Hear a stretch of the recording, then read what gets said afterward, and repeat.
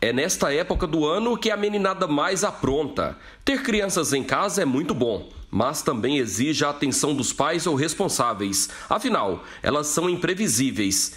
E justamente por não terem a mesma noção de perigo do que os adultos, muitas vezes acabam se colocando em situações de risco. Para evitar a questão do risco de contaminação, que geralmente acontece também no ambiente da cozinha, ou no ambiente da lavanderia, onde tem produtos ali que são bastante coloridos e chamativos para as nossas crianças, é sempre colocar esses produtos fora do alcance, em armários mais elevados ou armários trancados.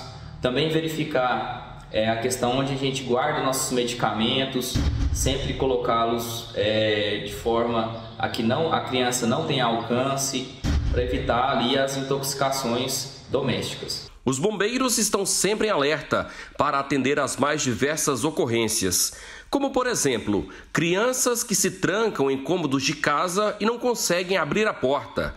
Teve adolescente que ficou com a perna presa num tronco de árvore em Goianápolis. E o caso mais recente foi em Lusiânia, no entorno do Distrito Federal.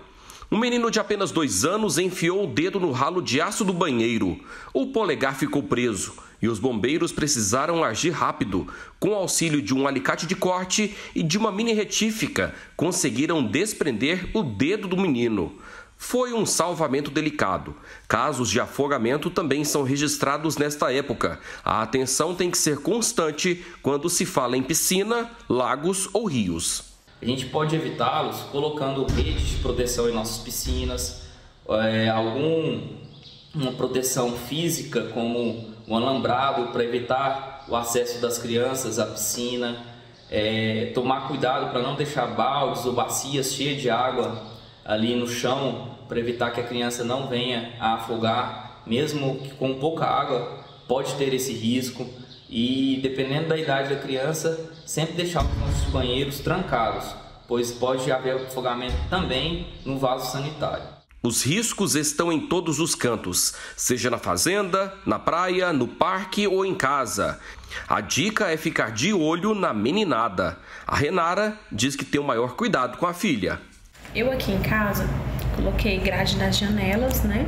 Deixo os objetos cortantes sempre em lugares altos, produtos de limpeza longe das, das crianças, né? Em lugares altos, medicamentos, né? Para que não possa chegar a inalar alguma medicação, né? A gente sempre deixa em locais que eles não conseguem alcançar. E também a questão da limpeza da casa, para que não possa escorregar, né?